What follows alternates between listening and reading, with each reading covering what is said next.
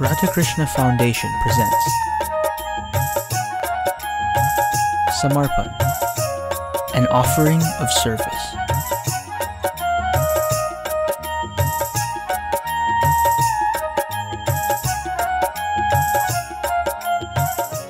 वृंदावन बिहारी लाल की जय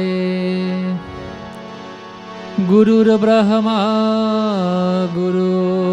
गुरुर्विष्णु गुरुर्देव महेश्वर। गुरुर्साक्षात् परं ब्रह्म। तस्मै श्रीगुरवे नमः सद्गुरु महाराज की जय। श्री गणेशाय नमः। श्री सरस्वतयै नमः। दुन्दुर्गाय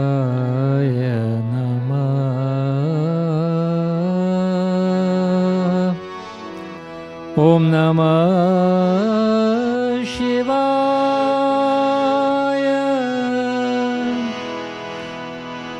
ॐ नमो भगवते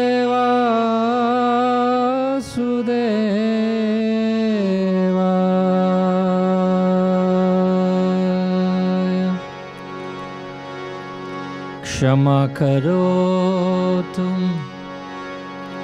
मेरे प्रभु जी, अब तक के सारे अपराध। क्षमा करो तुम मेरे प्रभु जी, अब तक के सारे अपराध। क्षमा करो तुम मेरे प्रभु जी। अब तक के सारे अपराध धो डालो तन की चादर को धो डालो तन की चादर को, लगे है उसमें जो भी दाग। क्षमा करो तुम मेरे प्रभु जी। अब तक के सारे अपराध। क्षमा करो क्षमा करो क्षमा करो क्षमा करो क्षमा करो।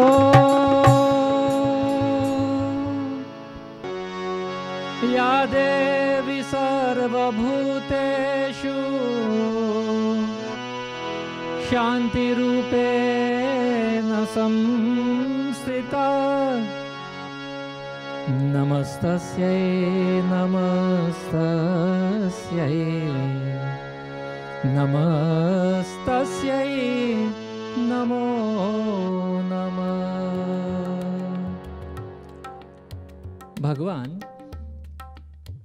also in his feminine form as Durga, Ya Devi Sarva Bhuteshu Kshanti Rupen, we pray to the Universal Mother for Kshanti, for forgiveness. Not Shanti, Shanti, he speaks Kshanti, forgiveness. This is a very popular prayer by Hindus or human beings to God. We pray for forgiveness. Why? Because it's the most popular and desired quality of human beings by God. This quality of forgiveness is very popular amongst all of us because forgiveness is something that we that we as humans or as human beings we petition. We go to God and we petition for for forgiveness if we think we have done something wrong. But many of us have many questions. Why? Because if we were to have a sense that we are indeed forgiven, then we'll have the feeling that we can walk away or walk away free of the weight of any wrongdoing that we may have done. We may even relax, feeling that there will be no penalties for any of our previous actions if God would have forgiven us. However, if our perception of forgiveness is that we bestow this act of, of forgiveness upon another another human being, knowing very well that we are granting utter escape to a person who has unnecessarily hurt us and even left us with all kinds of scars, mental and emotional scars, we may be hesitant to forgive. However, we go to God and we ask for forgiveness. But if someone has done something to us, we're not readily or very willing or most willing to usher that kind of forgiveness because we think that this is setting them free. So knowing this, let's we have to ask ourselves the question, could this be a contributing factor in our hesitance to forgive someone? Is this even something that is recommended by the scriptures? Because after all, we will be setting someone free of their wrongdoings towards us. Someone who has hurt us and left us with, like I said, so many scars.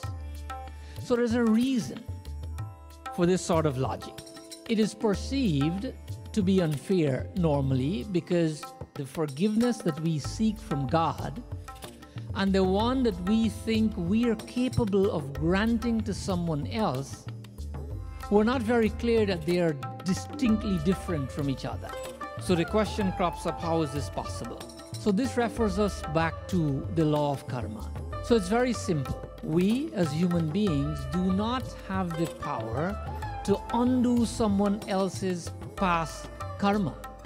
We do not have the power to undo the repercussions or the penalties of actions performed by, by any particular person. But yet it is recommended for us to forgive a person. Why? Because karma is a very logical thing, as we can agree. It is also largely scientific. But we know, or we should know, that we, we cannot cause this uh, negative reaction of their, of their actions to be undone. So, if it is not something that we can do for others, why is it that it is recommended for us to forgive others? So, to get the answer to this question, we have to come to the understanding that forgiveness is not about letting someone who hurt us walk free and absolve them of all their wrongdoings. Rather, it is about letting ourselves walk free. This is an important point that we have to remember. Because forgiveness is not doing something or doing somebody else a favor. It is doing us a favor. What? The question will go, how can that be? We're not the wrongdoer. How is this the case? And is this even recommended in the scriptures. Bhaj Giridhar Govind Gopal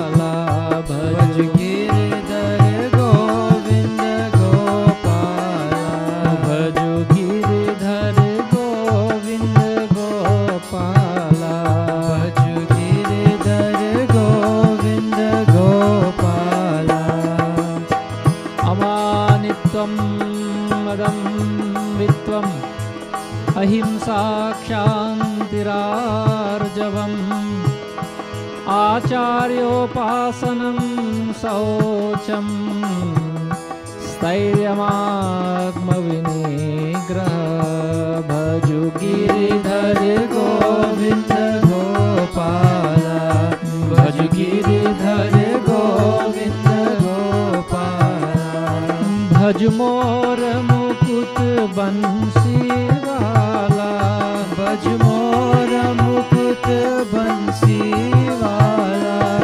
Giridhar Govind Gopala Gopala Gopala Gopala It is being very clearly explained that a man of knowledge is a man who forgives. And a person who forgives, according to Bhagavad Gita, is a man of knowledge. So let's look at a scenario. In the case of us not being forgiving, should we decide not to forgive? There's a beautiful verse in Mahabharata that helps us to understand this. अभिशक्तो ह्यभिषेजे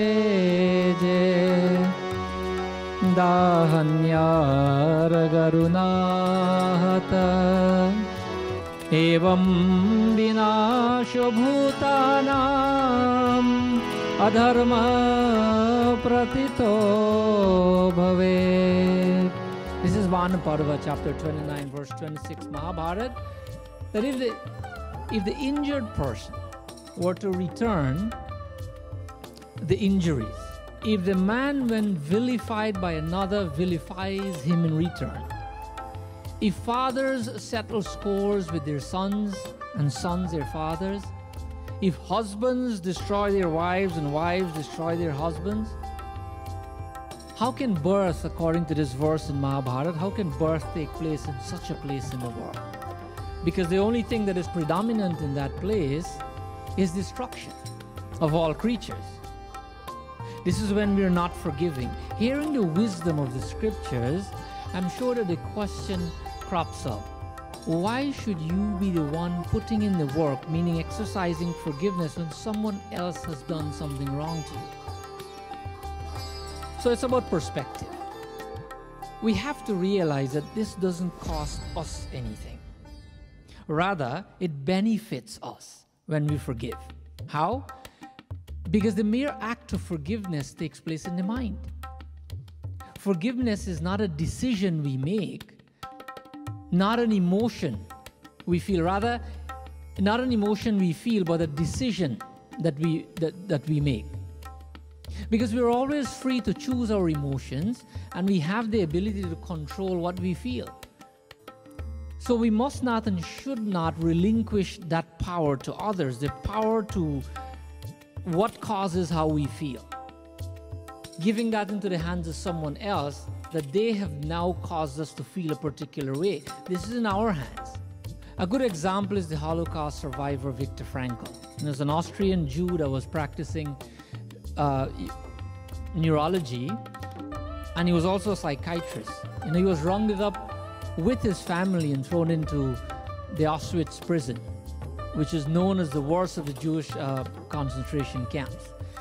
And so there he was separated from his wife, separated from his daughter, and later he got to find out that, that, that they were killed.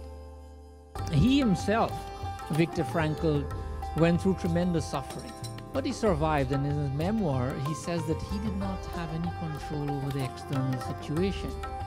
But he possesses something that no one can take away from him the freedom to choose his feelings. Irrespective of the circumstances, Viktor is saying, he says that life often serves you misery. But one choice that you always have is how you respond to it. That is nothing anybody else has had. And so, this response that Frankl is talking about can be forgiveness. And forgiveness will unleash the unstoppable cascade of peace in, in your life, regardless of what the external situations or your past experiences would be. So, here we can see that forgiveness cannot change what happened in the past, but it can certainly enhance the future. It can enlarge the future. It can, it can make us feel better because this is a choice that is in our hands. To forgive is to set a prisoner free and discover afterwards that the prisoner was you. Lewis Smedes. So the question here arises if forgiveness is so valuable and costs nothing, then why don't we all exercise it more often? Someone may have done us wrong and they have moved on while we keep the resentment within us and we end up we end up suffering but the fact remains that harboring hurt only serves to hurt us further. Because the person who has done that has moved on. We seethe in anger. And often the rage we nurture hurts us emotionally and psychologically. And the funny thing is that the offender may not even give a second thought as to what he or she has done and sleeps very well at night. While we toss and turn, while we are sweating bullets as to, you know, what has caused this, why has this happened, we imagine revenge, we need to retaliate. If we don't do these things, we may not feel better about ourselves. we cannot fix ourselves by breaking down someone else. That would be comparable to creating war if you're desirous of peace. So there's an old saying that says that when you try to give someone a piece of your mind, what ends up happening is that you lose your peace of mind. And it can get worse also. Because of the rage and the revenge that we're harboring, we end up hurting someone else, a person who is innocent in the process. Someone has done something to us once, but we're reliving this every day on a daily basis, and then in turn, we're hurting other people. Is this something wise? Then why do we do this? We do that because we have labeled ourselves as victims. We like to enslave ourselves to rage because we feel that, that we've been treated unfairly. But this is not us talking, this is our ego talking, not our logical mind, not our thinking power, but our ego. That we've been treated unfairly, so we should do something about it. This only serves to generate anxiety, anger, and depression. Worse yet, it compromises our peace of mind. We become bound by negative emotions and, res- and resentment. So, what we have to do, we have to practice forgiveness in the right way. Because forgiveness is what will set us free from such negativity. Forgiveness allows us to sleep better at night. Forgiveness is about relinquishing the past and looking to the future. Forgiveness is a gift that we bestow upon ourselves. It is not a favor to someone, forgiveness. It's not a favor to, to someone else. Rather, it is the greatest favor you can give to your own self. There's another study published in 2011 in the Journal of Personal Relationship that says that when a victim in a relationship forgives the other one, both experience a decrease in blood pressure. It also predicts positive psychological functioning. So these are all the benefits of of forgiveness from a, from a practical and a scientific standpoint. Do our scriptures support these, these findings? Let's find out. Radha Ramana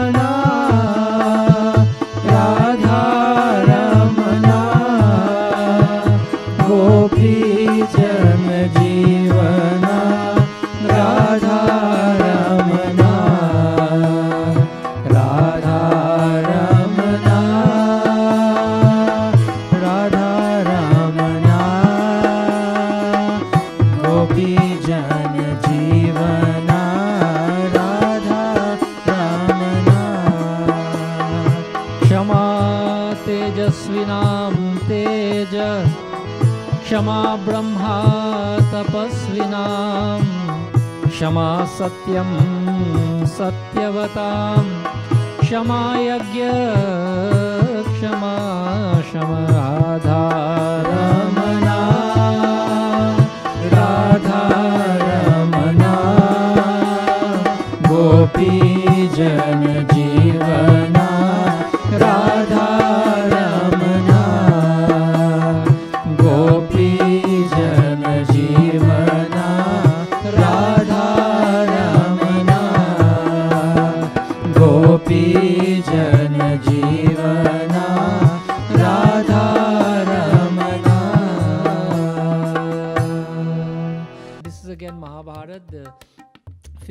Canto 33rd, chapter 40th verse. Forgiveness is the energy of the energetic. Forgiveness is the truth of the truthful. Forgive, forgiving persons attain to the regions of those of ascetics, ascetics meaning yogis, and those well versed with the knowledge of Brahman, meaning those who have studied Tattva Gyan. People who are of a forgiving nature are in the same category in terms of what they can achieve in life. with these very high level souls. Forgiveness is a fragrance that a violet sheds on the heels that has crushed it. Mark Twain. So, this is where we say, Yes, I understand that. But I don't forgive because I've been betrayed. Have we ever thought that God is often betrayed by us? Yet, we are asking of Bhagwan to forgive us. Because we know that in many cases we, we can experience His grace. And there are examples for us to follow in the scriptures as to how God is forgiving, unconditionally as well. Bhishma Pitamaha, the grandchild in Mahabharata, wanted to see Sri Krishna when he was lying on a bed of arrows. Even though he was fighting on the side of the Kauravas, on the side of unrighteousness against Sri Krishna. When he was dying, he asked to see him, and Bhagavan Krishna granted that, that to him. This is a forgiving nature of God, Sri Ram. Even though Ravan abducted Mata Sita, when he got to the southern side of India, he sent Hanumanji to Lanka to extend a hand of friendship to Ravan, to tell him that if you release Mata Sita and she comes back safely to us, that we can call this a day. Send a message of forgiveness to him again. God is so forgiving. Why can't we take those same examples that we know from the scripture and be like that ourselves? Bhagavan here is leading from the front on the, on the, on the road of forgiveness. He demonstrates practically and recommends scripturally that we should be forgiving. Because failing to do so is falling short of our true potential. We have this potential of forgiveness within us, but we keep scores. You know, keeping score of old scores and scars, getting even and one upping always makes you less than you are. Robert Frost. So there's a challenge for us. In order to develop a good habit, it helps if we understand the benefits of that habit, right? That's fair to say. So let's see again if science will be able to help us. A 2011 study in the Society of Behavioral Medicine presented a paper, presented a study that says that forgiveness creates a better immune system. In this study, the results support the hypothesis that it makes relationships stronger. That transformational forgiveness reduces the risk of alcohol and substance abuse. These are all scientific studies because often substance abuse is a mask for underlying pain. Even physical pain often has a psychological cause. And they can be reversed, not by medication, but through forgiveness. And further, that it helps us, the study says, to find the gifts in our everyday situations instead. Instead of finding something to hate, we find something to love. Now, we have scriptural and scientific evidence about the benefits of forgiveness. We've gone through a few. So, charged with this information, let us act as persons of knowledge. Remember the verse? And let us bestow forgiveness on others, and hence free ourselves. Because far, for far too long, we've locked away every ounce of forgiveness we, we're capable of. We feel that we have to wait to bestow our precious forgiveness upon a very worthy person. And then in the end, we sadly realize that each person we encounter is unworthy of our forgiveness. We've never done it. But we have to remember that forgiveness is not about others or finding someone worthy of bestowing forgiveness upon. It's about us, it's about you. Are you worthy? Is what the question. Am I worthy of my own forgiveness? Is what the question is. Because we have to realize that forgiveness is the only weapon to destroy the enmity living in our heads. All the enemies and all the enmity that we that we nurture, the only weapon that will get rid of is forgiveness. And forgiveness only has value. This is important. It only has value when it is given away. So let's close with a few slokas from the from from from the scriptures. Here's a, a beautiful slok, and this is not this is song by Kashyap Muni. Kashyap Muni is one of the Saptarishis, the seven sages. This is what he says about forgiveness. Shama dharma, Shama Shama veda,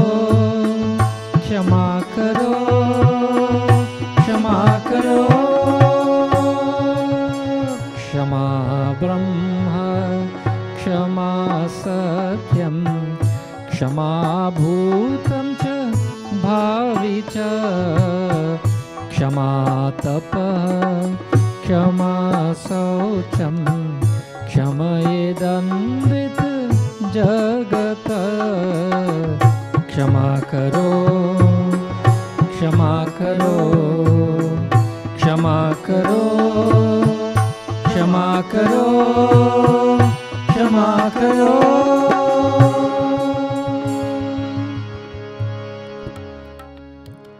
The scriptures here saying to encourage us to be forgiving that forgiveness is your dharma. It is a great virtue. Kshama yagya, forgiveness is yagya means when we perform a yagya, forgiveness is like a yagya, it's a sacrifice. Kshama Veda, Veda means our scriptures, the Vedas. Kshama Shruti means the same thing, Shruti means Ved. Forgiveness is the Ved. He who knows this forgives everyone. Kshama Brahma, Kshama Satyam. The forgiveness is Brahma, the creator. Kshama Satyam, if we want to be truthful, a good place to start is with forgiveness. Forgiveness is truth. Kshama Bhutam Cha Bhavicha. Forgiveness is the future protection of any person. Kshama Tapaha. Forgiveness is the highest penance. And Kshama Saucham. Forgiveness is purity. So forgive those who have done you wrong and release the burden of rage and anger from within yourself. Forgive yourself, for forgiveness is about finally setting yourself free and walking into a better and a more exciting future that has always been waiting for you or for us. It's about becoming a better person that we're always capable of becoming. Forgive now and enter that new phase of your life, relinquishing the past and embracing the future. If you care for forgiveness, or if you care for yourself rather, you will care to forgive. Brindavan Bihari Lal ki Jai. बार बार बर मांग हो हर्ष दे